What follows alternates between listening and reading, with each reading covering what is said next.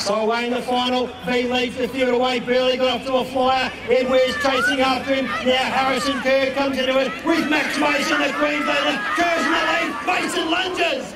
Mason.